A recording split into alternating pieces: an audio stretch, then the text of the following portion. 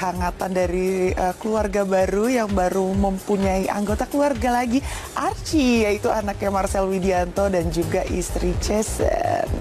Oke, okay. ini sebenarnya kalau misalnya dibilang mungkin banyak sekali netizen yang di luar sana bertanya-tanya gitu ya. Ini kenapa tiba-tiba udah punya istri, terus juga udah punya anak ya kan? Terus kalau misalnya kemarin-kemarin kayak deketnya sama seseorang gitu kan. Tapi ya emang gimana ya Sel ya? Yeah. Emang gue juga pernah ngeliat kan, kalian emang sedekat itu gitu. Ke mana-mana tuh sering hmm. banget bareng gitu. Dan di sini banyak sekali yang gue lihat komentar-komentar dari para netizen itu yang bilang kayak, ah, Selin mah settingan dulu segala macem. Tapi gimana emang gue ngeliat lu deket? Iya, emang kenyataannya deket. Tapi sekarang juga masih deket. oh. Iya. Kita okay. saling deket ya, Mak. Saling sayang. Namanya juga manusia, saling yeah. menyayangi. Sama kayak aku juga sayang kamu. Oke, jangan sampai lepas ya.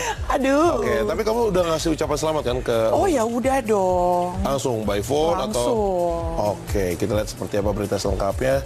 Ini dia untuk Anda.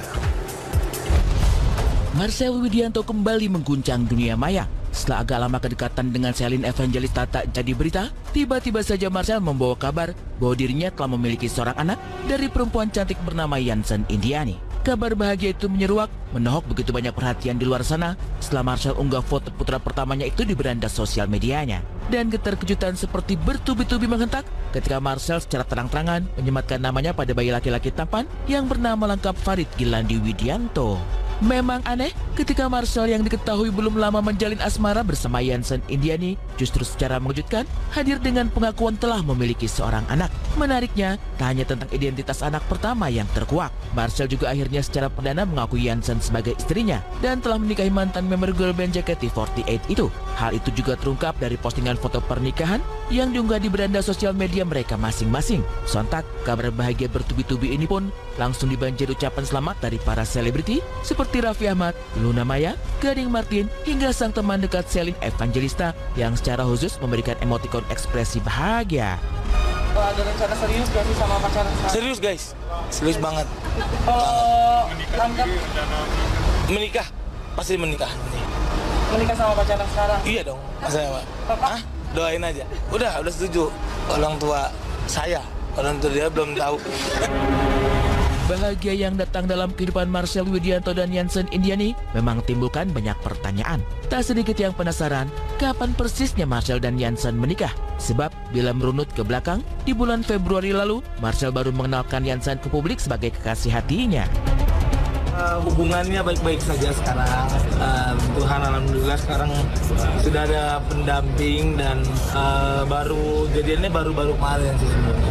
Itu awalnya gimana kak? Bisa jadi pacaran gitu? Bisa diceritain nggak? Deket ya pasti saya ya. Kalau ngajar duluan ya. Nggak mungkin beliau karena uh, dan deketnya juga udah lama udah dua tahun sebelumnya eh setahun setahun udah setahun sebelum udah katanya udah lama banget udah lima bulan terus akhirnya uh, ketemu di syutingan waktu itu juga ada syutingan acara musik gitu dia lagi manggung juga sama JKT dan akhirnya ngobrol dari banyaknya wanita di sana. Berarti cinlok kak? Cinlok. Jadi pakai jurus apa sih? Jurus kemiskinan.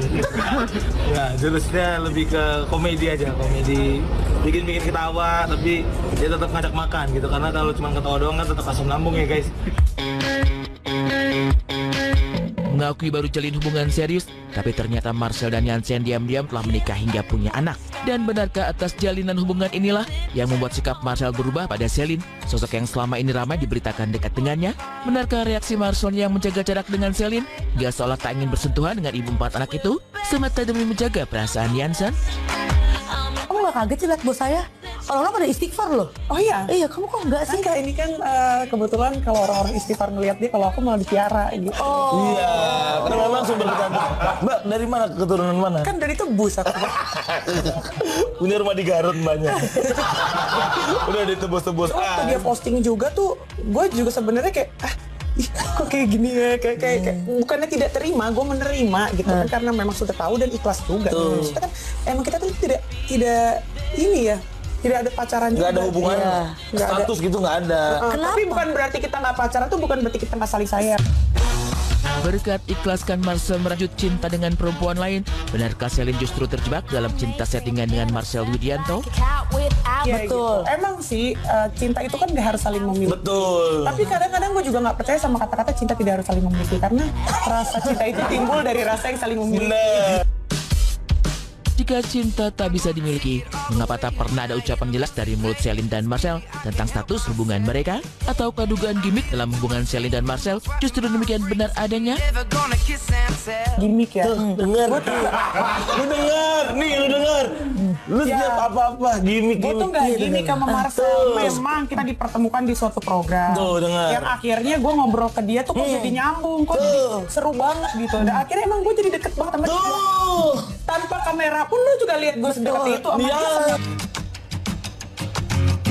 Menarik memang, aku tak punya status, tapi menebar romansa bak sepasang kekasih. Lantas, mungkinkah pengakuan Marcel yang terang-terangan tentang hubungan dengan Selin hanya teman biasa, semata demi membuat Jansen bahagia? Iya, padahal kemarin saya juga nggak pacaran sama Selin kan. Selin juga nggak ngomong kita pacaran gitu, tapi orang menyimpulkannya beda gitu. Tapi ya namanya entertain kan hiburan mau settingan mau enggak menurut gua kalau gua pribadi ya eh, selama gua tidak menyakiti orang kalau ya yang ngomong settingan settingan yang enggak ya enggak gitu loh jadi lebih ke itu udah hak prerogatif masing-masing bukan teritori gua untuk ngobrolin ke sana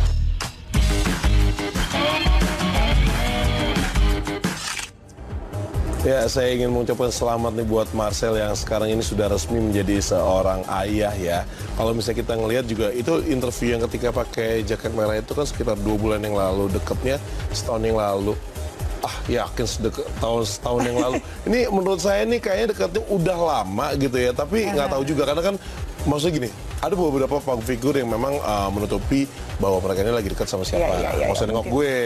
Oh, iya, gue kan? memang nggak lagi deket sama siapa-siapa. Kalaupun dekat ya gue juga nggak akan bilang. Tapi Marcel best.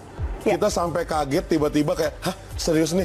Berarti dia bisa menutup rapat-rapat selama ini dekat sama siapa gitu. Walaupun memang banyak sekali berita-berita yang meng- mengaitkan sama nama lu Sel gitu kan. Pasti, Tahu, pasti. ya kan?